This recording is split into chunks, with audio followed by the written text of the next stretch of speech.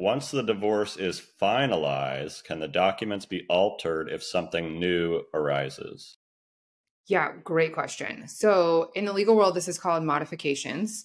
Um, and so most states would call it that. And in Georgia, it's considered like a modification of custody or modification of child support or alimony. Um, you can't, at least in Georgia, you cannot modify the settlement agreement. So let's say your house sold, your marital house sold, and you guys split the proceeds 50 50. That, that stuff is set in stone in Georgia. And definitely talk with your lawyer about, okay, if I sign this in my divorce, like what is modifiable?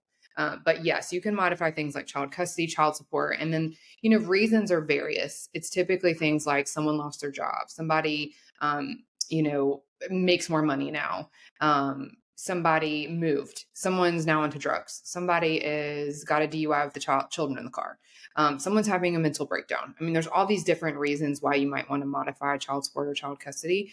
Um, I do. I will tell you, Rob. A lot of my clients always ask me, "Well, how do I know?" that I should modify child support. Like, how in the world am I supposed to know that my ex spouse, male or female, um, is now making more money? And I always say to them, you will know because they will tell you because they're posting all over social media um, about going on lavish trips and they're buying all these new things. And then they show up to pick up the kids in a Range Rover you know? So i always say they will somehow tell you they will give you some tidbit of information. Um, but yeah you can modify things later um, and just be sure to check with your local counsel local lawyers to figure out what the law is in your state but it might make sense right? Because when you got divorced maybe your kiddo was you know two and now your kiddo is eight and things have changed or maybe somebody has moved and the parenting plan you know thursday to monday just doesn't work anymore um, or maybe the 50 50 doesn't schedule doesn't work anymore for whatever reason. Someone's moved, someone's changed jobs, someone's work schedule's changed, or someone's now a drug addict. There's all these reasons, and the law allows for that.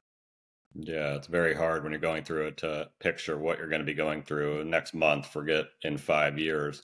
Uh, and that said, though, I think there are, before you sign those papers, I know we all just want to get it done. We've come this far. Give me the papers, I'll sign it a lot of those things cannot be changed. So, you know, talk to your attorney, maybe talk to friends who have gone through it before you make that final decision. Yeah.